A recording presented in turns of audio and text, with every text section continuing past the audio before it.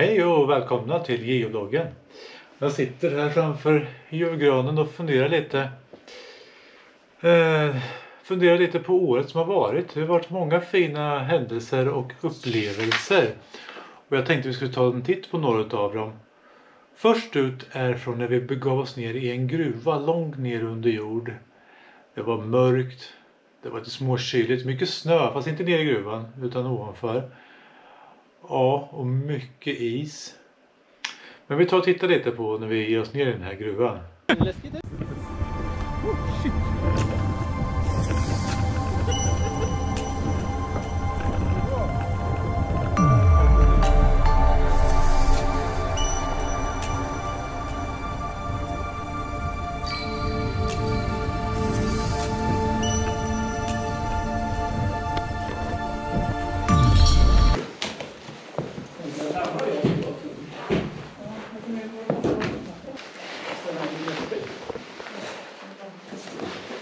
Ja, är vi halvvägs nere? Ja, kanske. Det skitglömt. Mycket, Längre än jag ser. mycket spik. Skulle det behövt mitt 70?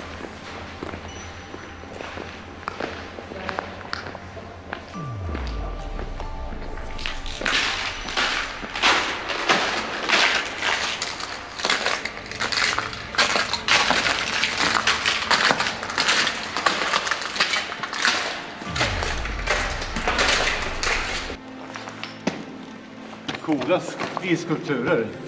Alltså, de här var ju vackra på något sätt.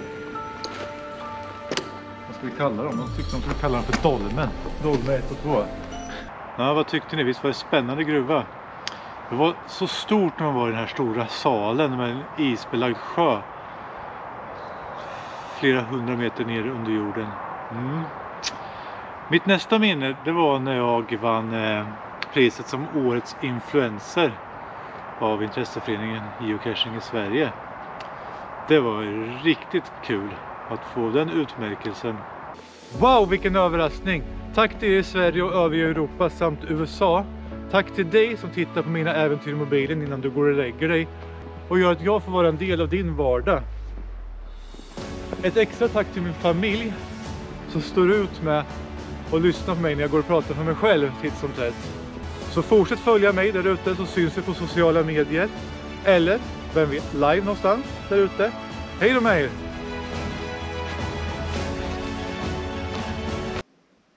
Jag, jag är superglad för att jag fick den utmärkelsen som årets influencer. Stort, stort tack för det. Det värmer massvis och att du gillar det jag gör. Vi har ju varit en hel del utomlands också. Eh, totalt har det varit sex olika länder. Den första utlandsresan tänkte vi skulle ta en titt på när vi tog flyget till Gdansk. En mycket trevlig och mysig stad. Har ni inte varit där så kan jag starkt rekommendera att åka dit. Det finns många fina cacher och sevärdheter. Det ligger ju någonstans där på kartan i Polen. Vi tar en titt.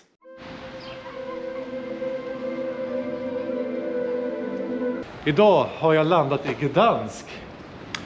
Har väl direkt inga planer på vad, vad vi ska göra här. Vi går omkring lite i staden så får vi se vad vi hittar. Alltid finns det en massa fina byggnader, cacher att titta på. Här står jag nu mitt i någon borggård av något slag. Ja, det var bra.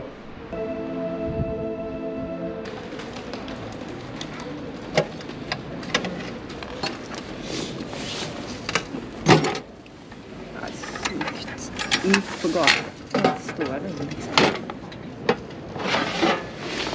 Amocan. Är det tv i den?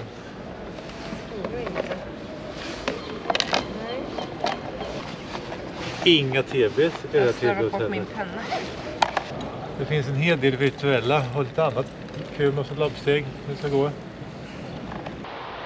Vi har inte bara gått omkring i vackra städer eller eh, gruvor som vi tittade på nyss.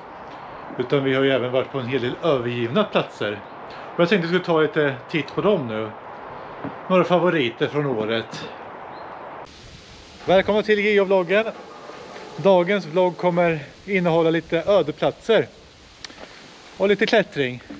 Ni kommer få reda på hur hon hamnade där uppe snarare Där nere!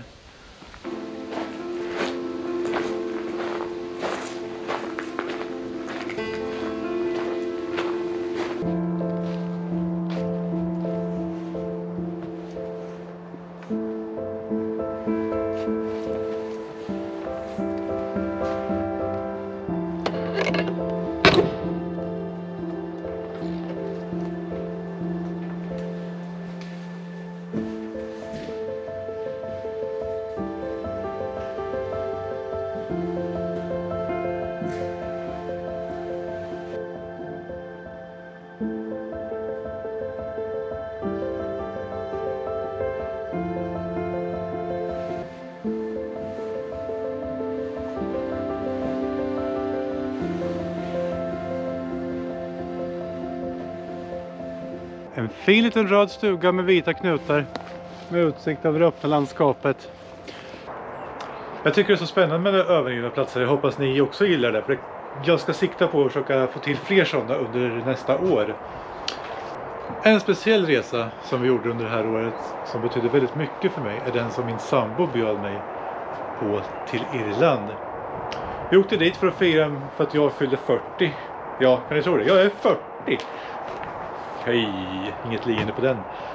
Eh, där åkte vi bland annat buss genom hela Irland från Dublin till andra sidan, till den västra sidan för att titta på Cliffs of Moher. Och jag tänkte vi skulle ta en liten titt på det. En väldigt vacker plats som tål att tittas på igen.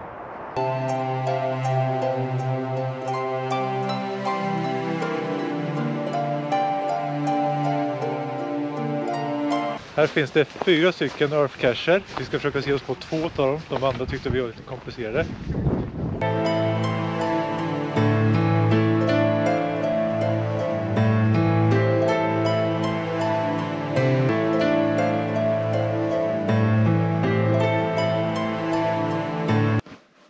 Sen får vi inte glömma att jag eh, tillsammans med två vänner, Cobster och Founded Podcast startade upp den här podden Geosnack som finns där poddar finns.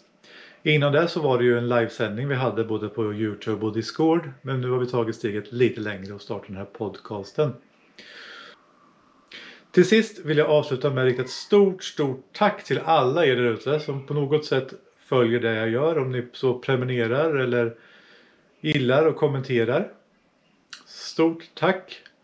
Och till er som inte tagit steget riktigt än och klickat på den här prenumerationsknappen så snälla, en liten julklapp till mig kanske? Prenumerera på kanalen så blir jag superglad. Bästa julklappen. Och vem vet? Vi kanske syns på riktigt där ute under 2024. Vill ni åka på en gemensam resa så är det bara att säga till. Jag är öppen för förslag om det så är norr eller söder. Det är alltid kul att hitta på någonting tillsammans. Återigen, stort stort tack och god jul och gott nytt år. Jag hoppas vi ses både online och offline under nästa år. Hej då!